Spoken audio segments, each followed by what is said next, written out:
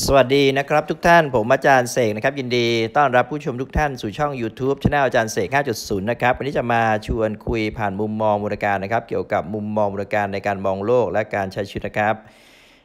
การฝึกฝนพัฒนาจิตนะครับเป็นสิ่งจำเป็นและสำคัญนะซึ่งหลายท่านเนี่ยอาจจะมองข้ามไป เพราะผมสังเกตดูนะครับจากคลิปที่ผมทำเนี่ยถ้าเป็นเรื่องทางโลกนะครับเศรษฐกิจการเงินการเมืองสังคมภูมิรัฐศาสตร์โลก แล้วก็การวิเคราะห์ราคาทองคำเนี่ยนะครับจะมีผู้ติดตามเยอะ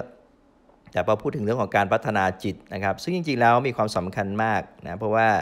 สุดท้ายผมบอกแล้วว่านะการตัดสินใจทุกอย่างในชีวิตนะครับนะไม่ว่าจะเป็นการลงทุนนะหรือว่าการประกอบกิจการงานทั้งหลายนะท่านต้องตัดสินใจเองนะกรรมเป็นของแต่ละท่านนะครับทำแทนกันไม่ได้ เพราะการพัฒนาจิต คุณภาพของจิตจึงเป็นสิ่งที่สำคัญมากนะแล้วผมก็ทำมาหลายคลิปพูดถึงแนวทางนะการพัฒนาจิตที่ถูกต้องอยู่ในพุทธศาสนา เรียกว่านะการเดินตามนะรอยทางที่พระเจ้าตรัสรู้นะครับ อริยมรรคมีองค์ 8 ประการนะครับ หลายคนเนี่ยพอได้นะฝึกฝนพัฒนาจิตนะก็อาจจะคิดไปนะว่าเอ๊เป็นมนุษย์นี่ลำบากนะถ้าพัฒนาจิตไปแล้วเนี่ยนะไปเกิดในสวรรค์นะคงสุขสบาย นะเป็นเทพเทวดานะเป็นนางฟ้านะอยู่บนสวรรค์เนี่ยคงสุขสบาย ก็คงจะถูกนะเป็นจริงอยู่บางส่วนนะเป็นเพราะว่ามีกายทิพย์มีกายที่ละเอียดนะไม่เหมือนกายหยาบของมนุษย์นะซึ่งมันมีความแก่เจ็บตายนะเห็นได้ชัดนั่นเองนะครับมาหลายคนเวลาฝึกฝนเจริญสติภาวนาไปนะบางทีก็รู้สึกว่า เป้าหมายเนี่ยจะไม่ใช่ไปเพื่อจะนะหาสัจธรรมความจริงมรรคผลนิพพานแล้วนะเริ่มจะเบี่ยงไปนะเพื่อจะไปสุคติโลกสวรรค์แล้วนะครับซึ่งวันนี้จะมาชวนคุยกันนะครับนะชี้แจงให้เห็นภาพนะครับว่าเทวดาเนี่ยไม่ใช่ว่าเป็นสัมมาทิฏฐิทั้งหมดนะครับ ก็คล้ายมนุษย์นี่แหละครับปุถุชนที่ยังมีความหลงอยู่มากก็มีนะซึ่งอันนี้คือสิ่งที่เวลาฝึกฝนปฏิบัติธรรมนะรู้เข้าใจจิตใจตัวเองมากขึ้น นะครับเราจะมองเห็นนะการเวียนว่ายตายเกิดนะครับของจิตใจนะที่มันอยู่ในสังสารวัตรซึ่งก่อนหน้านี้ผมได้ทำคลิปนะสตอนอธิบายเรื่องของหลักปฏิจจสมุปบาทนะครับ วงล้อห่วงโซ่นะแห่งสังสารวัตรนะครับ ได้ครบถ้วนนะอธิบายนะอย่างละเอียดครบถ้วนสมบูรณ์นะท่านที่ยังไม่ได้รับชมนะครับ แนะนำนะไปรับชม จะมีสาระประโยชน์นะอาจจะเรียกว่าเป็นทฤษฎีก็ได้นะครับ เพราะว่าเป็นเป็นคำอธิบายนะก็แต่ละท่านต้องไปพิสูจน์เอง ในเรื่องของวงล้อห่วงโซ่ปฏิจจสมุปบาทนะซึ่งผมบอกแล้วว่ามันคือการทำงานของจิตในแต่ละวัน คนเราลืมตาตื่นขึ้นมา จิตมันทำงานแล้วฮะทำงานเร็วมากนะหนึ่งรอบของมันเนี่ย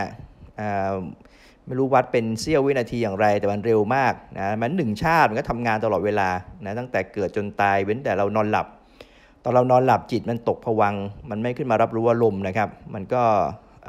เหมือนกับว่าหยุดไปชั่วคราว แต่ถ้าลืมตาตื่นนะตลอดชาติ มันก็เวียนอยู่เงี้ยนะแล้วพอตายไปก็ไปเกิดใหม่ อยู่ในสังสารวัฏนะวนเวียนไม่สิ้นสุด เพราะว่าตัวอวิชชายังไม่สิ้นนะตัวนี้คือเหตุนะแห่งการเกิดในสังสารวัฏนะครับ เพราะฉะนั้นเมื่อคนเราตายนะแล้วขันห้าแตกดับ นะไอตัวปฏิสนธิวิญญาณจิตนะก็เกิดขึ้นในห่วงโซ่ปฏิจจสมุปบาทนะเพราะฉะนั้นห่วงโซ่ปฏิจจสมุปบาทนี่เป็นเขาเรียกว่าเป็นคีย์หรือเป็นหลักสำคัญนะของการแสดงเหตุผลของการเวียนเกิดเวียนตาย และการพ้นไปแห่งสังสารวัฏนั่นเองนะมีคู่เหตุผลอยู่ คราวนี้เราจะรู้ความจริงเนี่ยไม่ใช่แค่ฟังทฤษฎีเช่นนี้นะครับ ต้องฝึกฝนปฏิบัตินะเดินนะแนว ทางอริยมรรคมีองค์แปดประการ ศีลสมาธิปัญญาเพื่อย้อนเข้าไปที่ต้นทางของห่วงโซ่ปฏิจจสมุปบาท ไปที่ต้นตออวิชชานะครับซึ่งเป็นหัวหน้าใหญ่นะแห่งกิ่งก้านสาขาย่อยของสังโยชน์10 นั่นเองนะครับต้องย้อนกลับไปนะด้วยเส้นทางอริยมรรคมีองค์ 8 ประการนะครับนะเพื่อไปละกิเลสสังโยชน์นะผู้ที่ละกิเลสสังโยชน์ได้ก็เรียกบรรลุธรรมนะซึ่งมี 4 ขั้น นะครับผู้ที่บรรลุธรรมเราก็เรียกว่าอริยชนอันนี้บอกนะครับ ถ้าใครละสังโยชน์3ได้ก็เรียกว่าเป็นอริยชนขั้นต้นนะเป็นพระโสดาบันนะผู้ที่ละสังโยชน์สามได้ด้วย แล้วก็ทำให้นะกิเลสตัวราคะกับโทสะเบาบางลงนะก็บรรลุขั้นที่2นะเรียกว่าพัสกิทาคามีนะครับใครสามารถละสังโยชน์เบื้องต่ำ5ประการได้สิ้นนะครับขาดสะบั้นไปนะก็เรียกว่าพระนาคามี ผู้ที่สามารถละสังโยชน์10 ประการ รวมถึงต้นตออวิชชาได้นะ หักห่วงโซ่ วงล้อปฏิจจสมุปบาทลงได้เนี่ยก็เรียกว่าพระอรหันต์นะอย่างมีพระพุทธเจ้าและพระอรหันตสาวกจำนวนมากนะครับนะที่สามารถทำได้สำเร็จ อันนี้คือแนวทางพัฒนาจิตนะตามวิถีทางสายกลางอริยมรรคมีองค์8ประการ แล้วผมก็ได้พูดฟังว่าในขณะที่เราทวนกระแสจิตขึ้นไปเนี่ยนะทำจิตให้ละเอียดละเอียดนะด้วยสติละเอียดสมาธิละเอียดปัญญาละเอียด นะครับจิตจะโดดเด่นขึ้นมานะเพราะว่าจิตมันออกไปทำงานนะครับทางตาหูจมูกลิ้นกายใจตอนเราทำสมาธิเนี่ยเราจะระมัดระวังนะในช่องทางทวารทั้ง 5 คือตาหูจมูกลิ้นกายนะมันจะค่อยๆรับรู้น้อยลง มันจะไปโดดเด่นที่ทางมโนทวารหรือใจนั่นเองนะเพราะฉะนั้นผู้ที่จเจริญสมาธิเป็นสัมมาสมาธิเพื่อจะไปละนะเจ้ากิเลสสังโยชน์ที่ต้นต่อของห่วงโซ่สมุทบาทเนี่ยนะครับ นะก็จะมีพลังจิตนะก็เรียกว่าสมาธิพละนะก็จะมีพลังจิตนะที่บางทีสามารถรู้เห็นอะไรบางอย่างนะที่เรียกว่าอภิญญาก็มีหรือบางคนเนี่ยนะตอนนอนหลับนะใกล้ๆตื่นนะมีนิมิตมีอะไรก็มีนะครับแล้วก็ก็เรียกว่าเห็นพวกอะไรนะพวกกายทิพย์ก็มีนะครับคราวนี้หลายคนก็คิดว่านะการเจริญสติภาวนาเนี่ยนะครับนะถ้าเราไปเรื่อยๆนะนะเรา จิตเราละเอียดขึ้นเรื่อยๆใช่ไหมเออถ้าเรามีศีลห้าด้วยมีฮิริโอตปะด้วยนะเราไปเกิดเป็นเทวดานี่ก็สบายละนะเทวดานี่ก็คงทุกคนก็เป็นคนดีหมดเลยนะมีศีลธรรมนะมีฮิริโอตปะนะแล้วไม่แล้วก็มีกายทิพย์ด้วยนะไม่ต้องทุกข์ยากนะแก่เจ็บอย่างมนุษย์เรานะหลายคนก็คิดว่าไปเป็นเทวดาดีกว่านะไม่ได้ปฏิบัติธรรมเพื่อจะไปมรรคผลนิพพาน ไม่ได้เพื่อจะไปละสังโยชน์นะแต่ว่าจะไปเกิดในเทวโลกไปเป็นเทพเทวดาไปเป็นนางฟ้าอย่างนี้เป็นต้นนะครับ ก็ต้องระมัดระวังนะเพราะว่า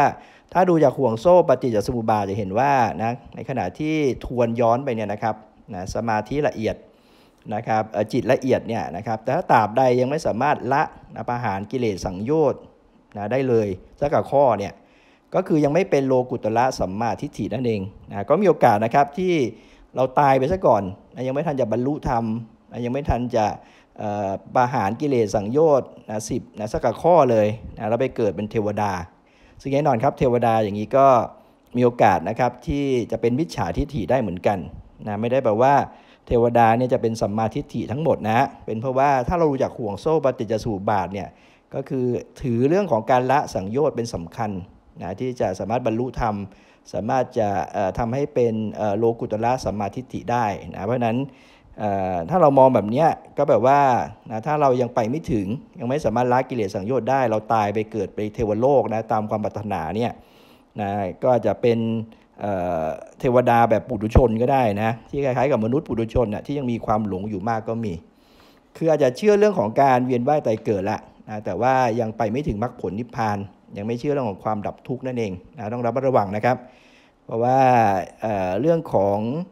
คำสอนพุทธเจ้าเนี่ยสาระสำคัญนะอยู่ที่เรื่องของอริยสัจสี่เรื่องของมรรคสี่ผลสี่นิพพานหนึ่งตรงนั้นจะเป็นโลกุตละสมาธิฐินะครับ แต่ว่าเทวดาจะเป็นโลกียะสมาธิฐิได้นะเห็นการเวียนว่ายตายเกิดนะทำความดีจากโลกมนุษย์ตายไปเกิดสวรรค์นะแต่ว่ายังไม่สามารถบรรลุมรรคผลได้นั่นเองนะครับ ซึ่งก็ ยังมีความไม่แน่นอนอยู่ เพราะหมดจากชาติที่ไปเกิดบนสวรรค์เนี่ยอาจจะล่วงไปสู่กำเนิดอบายสี่ได้นะครับนะกำเนิดเปรตนะนรกเปรตอสุรกายเดรัจฉาน จึงต้องระมัดระวังนะเพราะสิ่งที่ว่าพระพุทธเจ้าตรัสรู้เนี่ยเป็นสิ่งที่ลึกซึ้งนะไปกว่าเพียงแค่ไปเกิดบนสวรรค์นะครับ แต่ผู้ที่ปฏิบัติธรรม